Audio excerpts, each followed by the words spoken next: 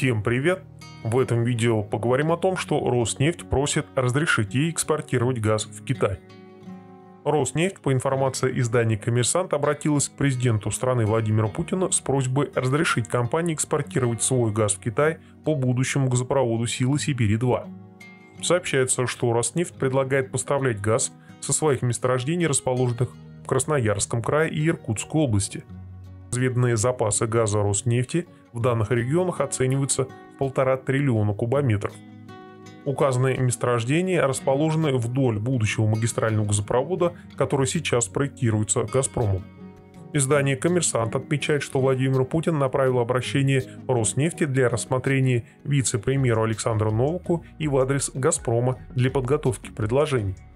Роснефть в течение долгих лет стремится получить разрешение на право экспорта газа. До настоящего времени указанным правом в части трубопроводного газа был наделен лишь «Газпром», который является владельцем магистральных запроводов, связывающих Россию с другими странами. Роснефть потенциально может экспортировать лишь жиженый газ, но не трубопроводный. «Газпром» ранее неоднократно высказывался против наделения других компаний, включая Роснефть, правом на экспортные поставки трубопроводного газа. По мнению руководства газовой монополии, это создаст ненужную конкуренцию между отечественными поставщиками, что приведет к снижению цен на экспортируемый газ. Бюджет страны никаких выгод от этого не получит. Привлечение других поставщиков, по мнению «Газпрома», целесообразно лишь в случае отсутствия у самого «Газпрома» достаточных ресурсов газа для удовлетворения потребностей зарубежных партнеров – Однако сейчас у «Газпрома» фактически высвободилось свыше 80 миллиардов кубометров газа в Европе. Это вынудило госкомпанию сократить добычу газа в стране на 20%.